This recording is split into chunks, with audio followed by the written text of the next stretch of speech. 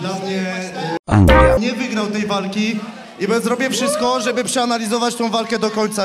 Nie to obchodzi. Więc zostanie złożony protest.